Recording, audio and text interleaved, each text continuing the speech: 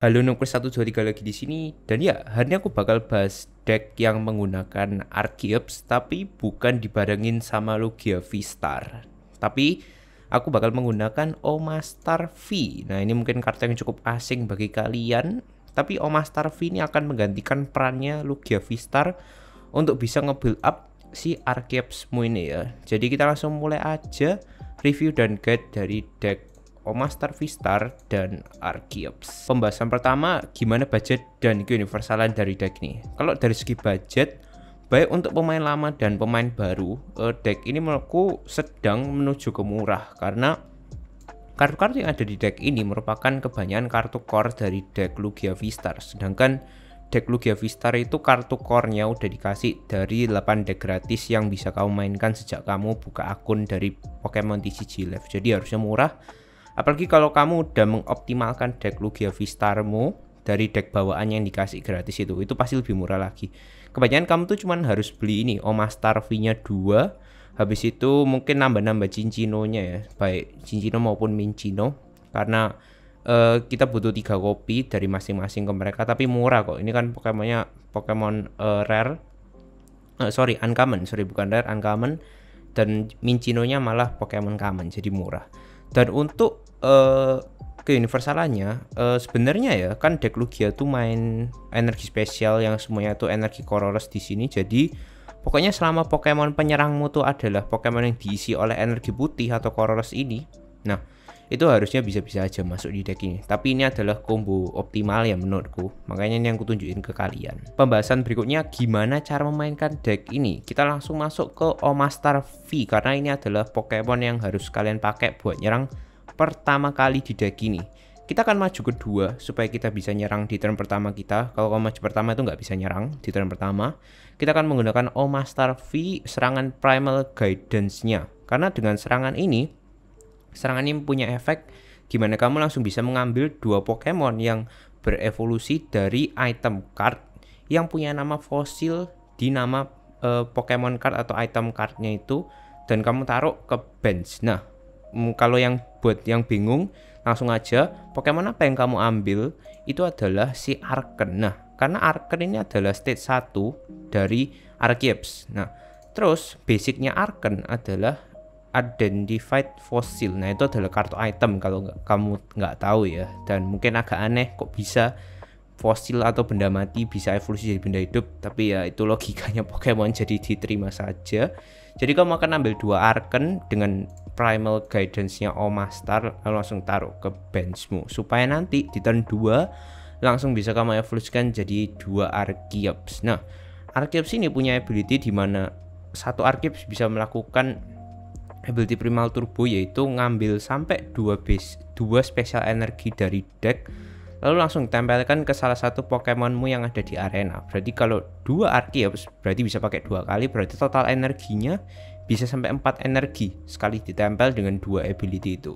Plus kamu masih bisa nempelin satu energi secara manual dari handmu di tiap turn. Nah, uh, itu berguna sekali untuk nge-power up Pokemon penyerangmu. Dan di sini kita bakal pakai Pokemon penyerang yaitu Cincino ya di kebanyakan situasi di kebanyakan banyak game Cincinonya adalah carry kita dari awal sampai akhir gitu kita akan pakai serangan special rollnya kita yang akan bernilai 70 damage untuk tiap kartu special energi yang tertempel di Pokemon ini gitu jadi kalau misalnya ketempel 4 sama uh, ability Arceus berarti udah 280 itu minimal kalau masih bisa nempel satu lagi manual 350 itu udah bisa langsung one hit uh, eh, KO apa pun Pokemon yang dilihat di depannya.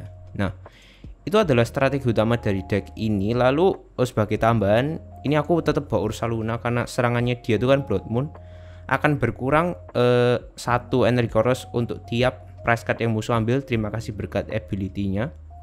Jadi kalau misalnya kamu nggak punya Cincino di late game, kamu masih bisa pakai Ursaluna EX ya ini juga bisa. Atau kamu juga bisa lebih kreatif lagi dengan nempelin ability eh nempel energi dari ability Arceps itu dengan Mew ya ke Mew karena dia punya serangan genome hacking di mana serangan ini bisa meniru satu serangan musuh di Pokemon aktif ya. Satu serangan Pokemon musuh di aktifnya mereka di posisi aktifnya mereka dan digunakan sebagai serangan dia. Jadi kalau kamu lihat Pokemon di aktifnya musuh tuh worth itu tiru ya tiru aja sama genome hacking. Nah itu adalah basic dasar cara mainkan deck ini. Lalu sebagai tambahan aku mau ngejelasin satu aja kartu supporter sini yaitu Arezu. Arezu ini uh, adalah supporter yang bisa langsung ngambil sampai tiga Pokemon evolusi yang nggak punya rule box. Jadi dia nggak bisa ngambil Pokemon evolusi yang kayak Pokemon EX atau Pokemon V itu nggak bisa. Jadi ngambilnya tuh yang Pokemon Pricer. Nah kamu langsung ambil tiga dari deck langsung dibawa ke hand. Nah ini bagus banget si Arezu. Karena dengan gitu kamu langsung bisa nyari dua Archeops ditambah satu Cincino. Jadi bisa dibilang sekali dapat Arezu, setupmu tuh udah selesai ya. Archeopsnya dua jadi, terus ada satu Cincino yang siap nyerang gitu. Nah, untuk yang lainnya dan beserta penjelasan energi-energi spesial ini bisa kamu lihat sendiri dan bakal ku jelasin lebih lengkapnya di in-game saja. Jadi kita langsung masuk ke in-game ya.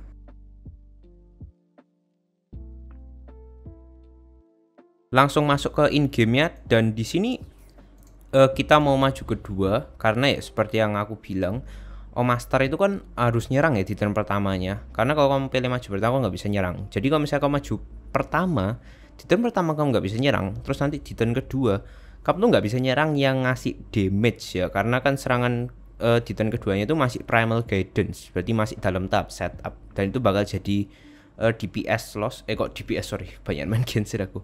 Uh, bakal jadi damage loss. Jadi maju kedua sama decknya. Supaya langsung kamu tuh ibaratnya langsung bisa nyerang dengan damage di turn keduamu pakai cincin ini nah ini aku di sini dapat setup yang lumayan bagus karena ada Irida dengan gitu Omastarnya pasti kambil ya Irida bisa ngambil satu Pokemon air dan satu item di sini Nah itemnya apa? Uh, di situ aku bakal ambil switch supaya aku bisa nuker posisi Mincino ini dengan Omastarku gitu. Dan kita melawan ini ya deck Aplin sama Aplin ini berarti jadi si naga kepala banyak itu. Kok lupa ya aku namanya? Hydrapple ya? Hydrapple.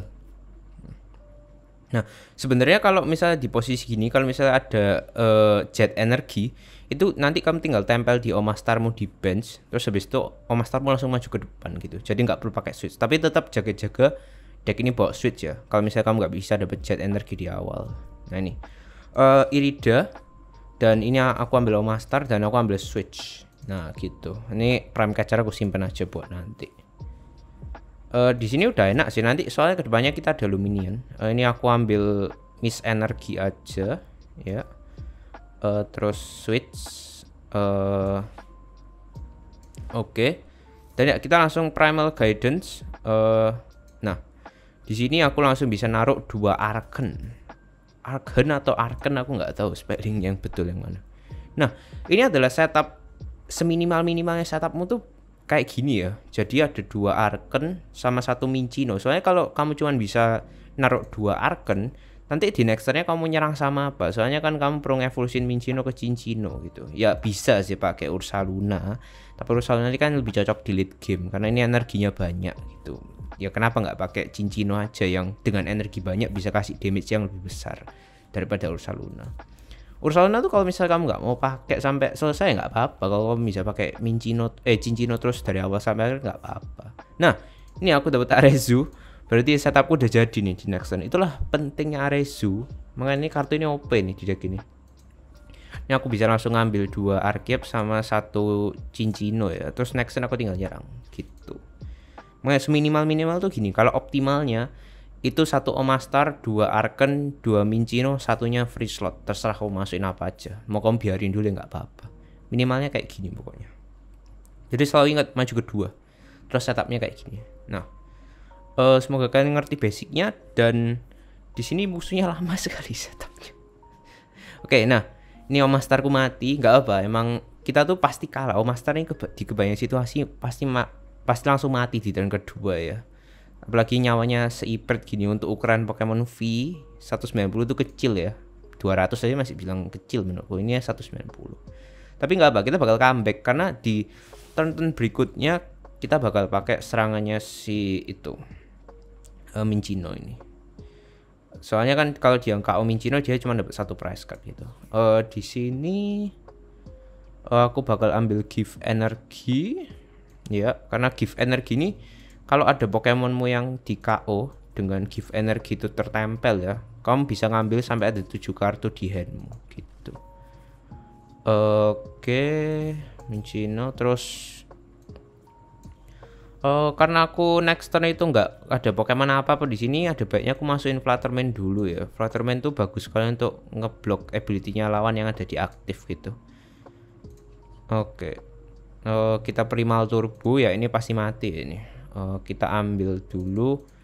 Kita ambil dulu yang nggak penting nggak penting dulu aja. Kayak Vigard energi sama teraputik ini kan nggak ngerti ya. Vigard eh nggak perlu Vigard itu mengurangi damage dari serangan Pokemon V.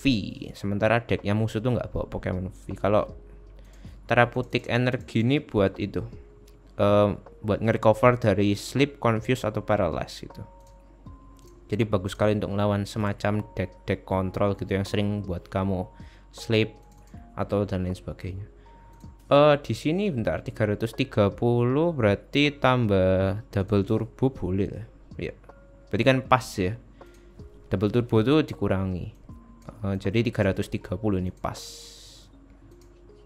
Uh, ya. Nah buat yang bingung kenapa kok double turbo itu dihitung satu energi satu ditambahnya 70 damage nya bukan jadi 140 karena uh, double turbo itu nggak termasuk dihitung sebagai satu kartu energi teman sedangkan si Cincino ini kan jumlahnya tiap kartu energi bukan tiap biji energi. Jadi satu kartu double turbo tetap dihitung tambah 70 tapi dikurangi 20 nah e, karena efek dari double turbo tuh. Makanya aku e, saranin kalau misalnya kalian butuh kalau kalian bisa simpen double turbo tuh ya simpen aja daripada dikurangin. Kecuali pengurangan damage itu nggak apa-apa kayak contohku ya tadi itu tetap bisa one KO oke di sini aku di Iono.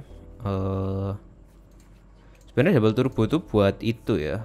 Uh, buat ke Ursaluna lebihan cocoknya. Karena kan kadang-kadang Ursaluna tuh butuhnya dua energi baru bisa nyerang bukan cuma satu gitu mungkin. Jadi makanya pakai cincin. Oke di sini uh, oke di sini kayaknya aku harus nyerang sama Ursaluna ya karena aku belum setup Mincinoku. Uh, untungnya tadi aku nyimpan Prime Catcher dan di sini ada Arven di sini. Jadi langsung kita pakai aja. Uh, oke okay, belum anjir udah langsung dikasih dong. Berarti next ballnya nih apa ya enaknya ya? Uh, ya cin, min, cin, mincino lagi ya. Langsung setup full aja. Uh, di sini oke okay, wait. Aku bahkan nggak perlu pakai Arven. Aku masih bisa nyimpen Arvenku. Set uh, nah ini kan tiga. Berarti aku butuh satu lagi. Berarti aku butuh bantuannya dari si Archips. Nah ini double turbonya aku pakai aja. Dan ya. Uh, karena itu udah cukup masih 220 ya damage nya dan sisanya aku uh, masukin ke Mincino aja. Nah ini. Uh, kalau miss energi itu untuk ngeblok effect of attack ya. Jadi kayak misalnya bentar ini Arven ku simpen terus uh, collapse stadium aku biarin aja. Uh, ini loh uh, miss energi itu buat ngeblok effect of attack. Jadi kalau misalnya Pokemon yang ketempel sama miss energi itu nggak bisa kena effect of attack. Contohnya apa effect of attack? Itu kayak serangan frenzied gougingnya si Roaring Moon atau serangan spreadnya si Dragapult ingat ya spreadnya. Bukan damage 200 nya tapi spreadnya 6 damage counter itu. Kalau damage nya tetap kena kamu. Gitu Nah ini dari tadi aku menghindari untuk nempelin Archeops itu pakai energi jet karena jet energi itu lebih enak dimainin dari hand. Supaya kamu bisa ngerasain efek maju mundur tadi. Kayak contohnya si Ursana aku tadi tuh enak banget tuh. Ada jet energen otomatis dia langsung uh, maju di sini. Oke. Okay. uh, oke okay, kita masih bisa selamat. Aduh ini, ini aman ya aku nggak bisa manfaatin Stone-nya karena Omastarku udah mati uh, bisa aja sih Luminion tapi kan nggak ada tempat buat masukin Luminion ya. Oh ya dan yang bingung kenapa tadi ada collapse stadium? Nah itu buat uh, ngebuang omastarnya kalau omastar itu nggak dikill kayak tadi gitu. Kalau omastarnya dikill itu beda cerita. Oke uh, ya aku bisa nyerang nggak ya? Waduh ada Arven ya? Ntar ada pilih Arven atau Yono? Arven aja deh. eh uh, iya. Atau Yono. Arven aja deh Arven aja. Saya dengan Arven tuh kita masih bisa nyari itu si Mincino. Aku tetap harus nyerang ini. Kay kayaknya udah nggak pakai Forest Season ya? Atau nggak? Kita buang Iononya. Ya buang Iono ya. Karena aku nggak udah nggak butuh Iono. Kalau aku pun aku Iono kartuku next turn cuman baliknya cuman sisa satu kartu ke hand. Buat apa mendingan tetap nyerang aja. Oke. Ini mundurin. Uh, terus kita serang uh, primal turbo. Satu dua ke Mincino kita. Kita kan masih ada satu Cincino kan ya? Kita serang ya? Kita serang mati. Harusnya menang sini kita. Dia macet soal rotasinya ini Omastar Collab Stadium tuh buat ngebuang Omastarnya kalau misalnya ada di bench soalnya apalagi kalau udah pakai Forest Stone kan si Omastar ini bener-bener jadi kartu mati ya. Main dia tuh kan melot melotot gitu.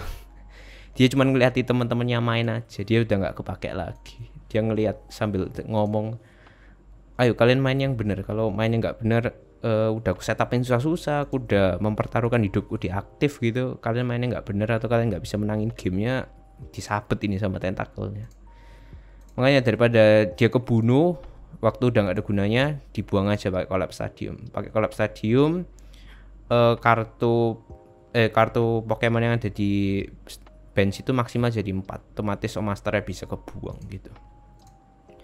Oke ini kayaknya lawannya nyerah deh. Ternyata nggak maju-maju ya. Uh, bentar. Kalau dia nyerah ya udah.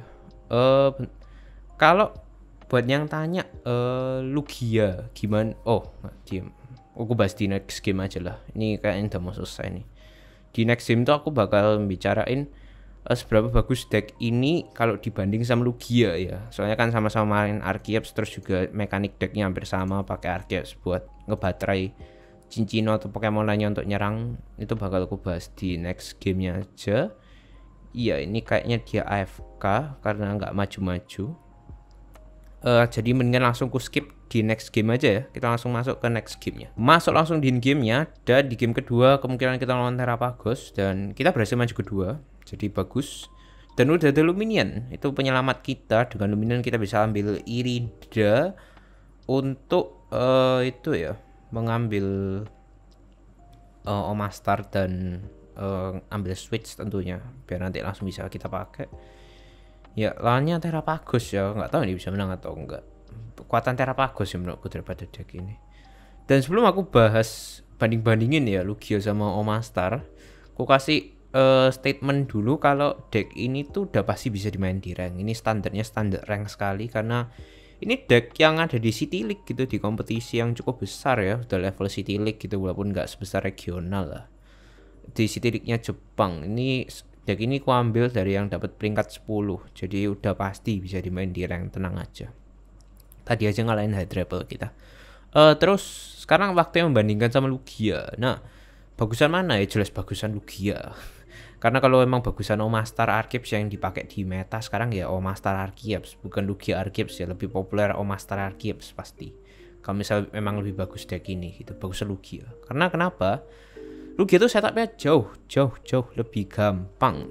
Ntar aku, lanjutin nanti karena aku harus setup dulu.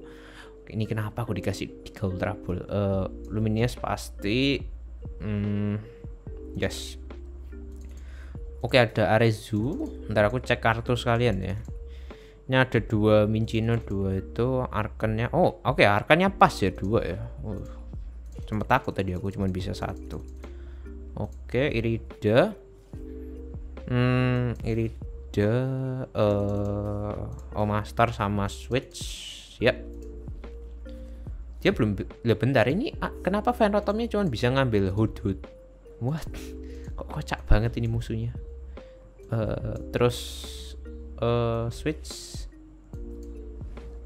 Ntar ini aku mau ngambil satu uh, ya satu mincino lagi ya. Aku kerasa butuh dua mincino di sini. Oke. okay. Dan ya kita bisa primal guidance. Dua arkan ya. Oke mantap lah. Oke, udah bagus lah ini. Soalnya nanti next turn paling nggak udah bisa jadiin satu Arken. Dan ini aku asumsi kok Masterku mati ya karena masa nggak bisa diserang ini sama Terapagos. pasti mati lah ya menurutku. Apalagi dia ada setup satu hudud. Walaupun agak aneh ya kok kok cuma setup satu hudud. Nah ini dia punya profesor riset apa lagi? Udah pasti mati artinya si uh, give energi bakal aktif langsung ada tujuh kartu lagi di sini. Dan lanjut bahas uh, Lugia ya. Bagusnya Lugia jelas. Kamu taruh Lugia tuh udah 60% game tuh bakal lancar karena uh, nanti kan tinggal evolusi jadi Lugia V-Star terus nanti tinggal pakai ability-nya otomatis kamu nggak perlu evolusi Archeops kan. Kamu langsung tinggal pakai aja ability untuk naruh dua Archeops dari discard pile ke bench. Wait what? Ini aku lawan deck apa sih? Ini bukan deck Terapagus berarti. Ini deck uh, yang pakai Van Rotom terus mungkin ngandelin Duskull ya? Mungkin ya nggak tahu aku. Uh, kita start alchemy aja. Hmm, ya langsung start alchemy. Terus uh, ambil apa ya? Arezu udah mau apa lagi? Dan ini situasi paling enak buat pakai Arezu tuh kayak gini Cincino terus Archeops oke okay. hmm oke okay. terus uh, Archeops lagi Archeops lagi mundurin Omastar terus Archeopsnya aku pakai ability-nya ini sebenarnya satu energi cukup tapi karena kita butuh dua energi ya udah untuk pakai special roll ya berarti harus minimal tempel 2 terus ini archives ini tempel 2 lagi di oh, tapi aku takut Mincino di bench nih kena archives ya. Uh, oh bentar. Uh, coba tempel satu aja lah. Atau double turbo ini aja ya. Ya double turbo ini aja lah. Yang takutnya di pop sama Dasnoirnya tuh loh. Percuma kan aku isi energi banyak banyak uh, special roll oh iya rasanya ini mereka tuh mainnya deck Indo Hood Hood tapi nanti Hood Hood. Supportnya Hood terus nanti yang nyerang nyerangin emang si Dasnoir ya nggak pakai Terapagus nih rasanya mereka. Tapi kok sleeve-nya nih pakai Terapagus aku jadi nggak tahu nih mereka main deck apa. Oke balik bas Lugia. Eh uh, seperti aku bilang Lugia setupnya gampang. Nanti tinggal masukin Lugia dan pertama terus nanti nextnya tinggal ngebuang-ngebuangin archetypes-nya pakai ability-nya Lugia habis itu archetype bakal balik sendiri langsung bisa jalan kan. Nah sementara deck ini itu kamu harus maju kedua itu udah wajib. Karena kalau maju pertama itu kan seperti yang aku bilang kamu nggak bisa nyerang terus nanti di turn keduanya kamu harus pakai primal guidance nya terus nanti ketiga di turn ketiga kamu baru bisa ngasih damage. Kamu bisa ngasih serangan yang ngasih damage. Dan itu lama banget apalagi ketemu deck turbo yang udah bisa nyerang di turn pertama atau KO mastermu EKE di turn pertama karena kalau mereka maju kedua. Terus misalnya pun Omastarmu udah ada di arena dari turn pertama terus kamu maju kedua. Uh, problemmu itu belum selesai karena kamu harus nem harus setup si Mincino ini kan. Soalnya kalau kamu cuman nggak ada Mincino ya nextnya antara kamu cuman bisa nyerang sama Miu sama Ursaluna atau nggak nyerang sama sekali kalau misalnya nggak ketemu Miu sama Ursaluna kan. Soalnya si si Omastarnya kan nggak bisa nyerang gitu oh ini terapagusnya baru muncul ya. Ternyata emang benar cek terapagus. Nah itu. Itu masalahnya. Jadi secara setup itu udah sulit. Habis itu terus sementara si Lugia misalnya pun kamu nggak bisa setup Mincino, Cincino atau penyerang lain kayak misalnya Aaron Hans dan lain sebagainya kamu masih bisa nyerang sama Lugia Vistarnya kan? Sama serangannya yang 220 itu tetap worth it untuk diserang. Waduh dia ngincar ku pintar dia. Uh, oke okay, ya klasik lah ya. Semua Lugia juga diincar Archeps ya oke okay, at least uh, bentar. Berapa damage yang bisa aku kasih? Uh, saat bentar. Ini kan pengurangannya 60 290 oke okay. oke. Okay, pas ada energi. Uh, ini ku tempelin uh, ini sama ini aja sama satu jet energi. Terus uh, ini evolusi jadi mincin cincino ya kita harus berharap sama Ursaluna nih berarti. Pem. nah kamu masih tetap bisa nyerang sama Lugia V-Star-nya kan? Tetap sakit itu 220 damage itu bisa aja itu uh, nge-KO Pokemon-Pokemon EX basic. Kayak misalnya ya contohnya si Visandi PT dan lain sebagainya Ogre gitu. Itu udah sulit menurutku. Makanya bagusan Lugia jelas. Secara setup dia tuh lebih gampang. Oke ini pasti cincin aku mati. Terus kalau misalnya aku empat energi lagi uh, aku harus bentar. Kalau misalnya aku munculin usaha aku nggak cocok sih buat sekarang. Uh, mendingan aku coba tapi aku nggak bisa aku harus dapat bos sih di posisi ini atau prime catcher soalnya kan isi tiga berarti nanti Ursaluna aku pakai aja buat finisher tapi aku harus ngebunuh bufalannya dulu atau juga bisa nge-KO kayak Vision di PT nih sih, tapi itu tambah butuh prime catcher ya. Cuman ada satu situasi di mana deck ini bisa lebih bagus daripada deck Lugia. Itu kalau kamu ngelawan ini si kadar restrict bernama Iron Trance ini. Nah, Iron Trance itu kan ngematiin ability-nya Lugia. Jadi Lugia nggak bisa ngemasin Archeops-nya kan. Nah, habis itu Lugianya lemah sama petir lagi. Jadi sekali shot dari serangannya Iron Trance itu udah pasti langsung mati Lugia. Mau itu Lugia V ataupun V Star-nya. Nah, itu beda sama deck ini. Karena deck ini nggak butuh yang namanya uh, ability-nya Lugia kan. Kamu tinggal pakai Omastar. Memang Omastar itu pasti mati di next turn. Karena Omastar juga lemah sama listrik. Waduh, yang bunuh Michino pakai gituan. Oke, berarti satu-satunya kesempatan kita adalah langsung one shot pakai Ursa Luna ya di sini ya. Uh, korbanin apa ya? Uh, aku nggak mungkin ngorbanin Argeps kan. Berarti antara uh, Luminion sama Omastar ya aku pilih Omastar iya, uh, Luminion aja deh aduh aku belum nempelin give energy lagi hmm oke. Okay. uh, eh, ya aku kasih atau Master kan tetap mati ya sama Terra bagusnya ya kelihatannya kalah deh nih. Tapi kita lihat aja. Nah eh uh, 190 ya tetap mati.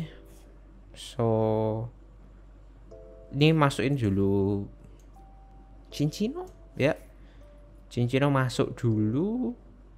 Terus oh, oh ya menang nggak? I menang nggak ini aku? Oh ya menang dong. Aku kan ada ini ya. Ah nice ada prime catcher nice. Terus ada Ursaluna ya itulah pentingnya Ursaluna ini ya di diskon 4 ya serangannya. Jadi cuman butuh satu energi. Yep. Hmm oke okay, ambil Ursalunanya pentingnya Ursaluna terlihat. Ambil Ursaluna di sini Hoki sih tuh kalau aku nggak dapat Arven kalah ini aku kelihatannya Hoki Hoki Hoki ini agak Hoki uh, Prime Catcher terus ambil Vision di PT terus tarik si Vision PT nya terus kita serang pemati. Nah, uh, aku bahas bentar sebelum aku sudah videonya. Uh, ya lawan Aran Trots itu kan si Lugiamu jadi nggak bisa pakai ability-nya dan ability-nya tuh mati. Terus Lugianya kena one shot sama serang listrik. Nah itu beda sama deck ini tuh yang nggak perlu ability-nya Lugia. Jadi tetap aja serang sama Omastar. Next pasti Omastar mati kena serangannya Iron Trons yang listrik itu kan. Kan kena one shot. Si Omastar juga lemah sama listrik. Nah tapi Nah, lagi-lagi nanti cincinonya bakal ngejar kan. Jadi selama cincin itu ada terus nyerang terus, ya kamu udah bisa dibilang menang karena uh, Iron Trustmu kau cincino dia cuma ngambil satu price card, tapi cincino musuh bisa untuk one shot si Trustnya ngambil dua price card langsung gitu. Jadi at the end of the game selisih price cardnya bakal kejar terus kamu bakal comeback gitu. Itu cuma satu-satunya uh, konteks di mana deck ini bisa lebih bagus sama Lugia. Sisanya bagusan Lugia tetap. Jadi kalau misalnya kamu belum punya Lugia ya main sama Lugia Archeops dulu sama deck ini. Oke, itu aja pembahasanku terkait uh, deck ini. Terima kasih karena sudah menonton. Kalau misalnya masih ada yang bingung silahkan tanya aja di kolom komentar.